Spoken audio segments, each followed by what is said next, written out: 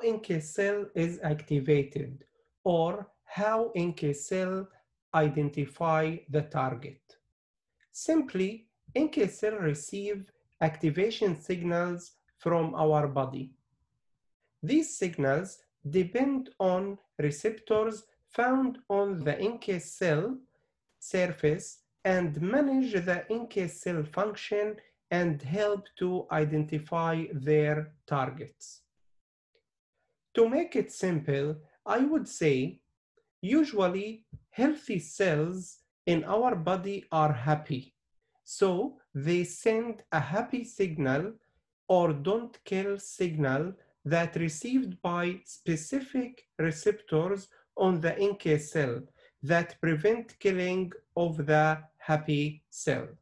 But when the happy cell infected or damaged, it sends sad signal that are received by other type of NK cell receptors which activate the NK cell and lead to killing that sad cell. So in biology of NK cells, what are the receptors that receive happy and sad signals called? Usually, happy signals received by receptors called inhibitory receptors, such as KIRs or killer immunoglobulin receptors, and other inhibitory receptors like NKG2A and TIGIT.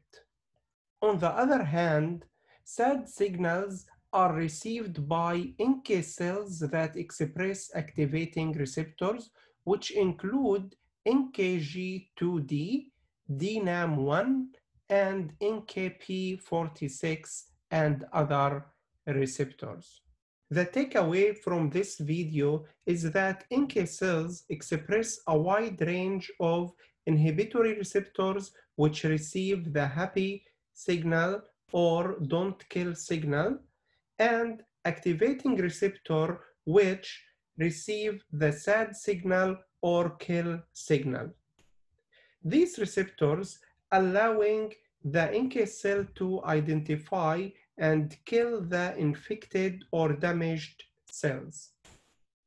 It is important to remember that there are many other inhibitory receptors and activating receptors expressed on the NK cells.